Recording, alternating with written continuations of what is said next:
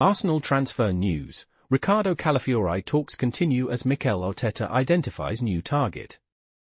Arsenal are in discussions to sign Italian defender Riccardo Calafiori from Bologna.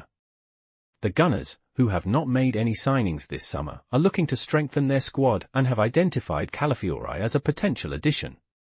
Negotiations over a fee are ongoing, with Arsenal aiming to finalize the deal before their pre-season tour in the United States. Please subscribe to my channel.